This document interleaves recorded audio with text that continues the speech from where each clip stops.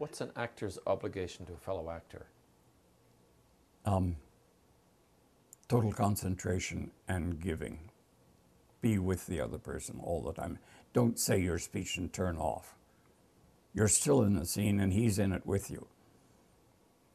And I guess you just defined the kind of actor you are.